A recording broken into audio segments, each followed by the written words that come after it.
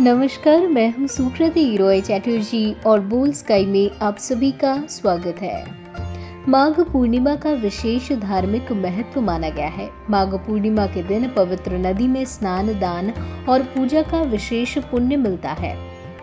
प्रयागराज में कल्पवास का विशेष महत्व भी बताया गया है। इस दिन यानी माघी पूर्णिमा पर कल्पवास का समापन होगा।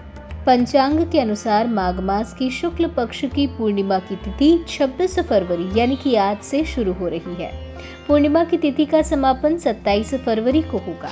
ऐसे में स्नान दान के लिए 27 फरवरी का दिन उपयुक्त रहेगा। तो वहीं पूर्णिमा का व्रत और पूजा पाठ के लिए 26 फरवरी का समय उचित होगा।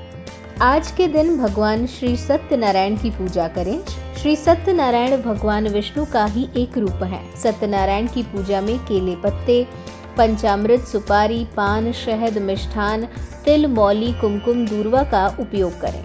इससे श्री हरि का आशीर्वाद मिलेगा। कुछ लोग इस दिन कथा भी करते हैं। माना जाता है कि आज के दिन सत्यनारायण की पूजा करने से सौभाग्य का वरदान मिलता है। और घर में सुख समृद्धि भी बनी रहती है। वहीं आज के दिन सत्यनारायण कथा सुननी और पढ़नी भी चाहिए। 27 फरवरी को आप स्नान दान कर गरीबों में दान भी ज़रूर करें। मान्यता है कि माघ माह में देवता पृथ्वी पर आकर मनुष्य रूप में स्नान दान और जप करते हैं। इस दिन प्रयाग में गंगा स्नान करने से सारी मनोकामनाएँ पूरी होती हैं। उम्मीद करती हूँ कि आपको ये वीडियो पसंद आया होगा। वीडियो को लाइक और शेयर करें। साथ ही चैनल को सब्सक्राइब करना ना भूलें।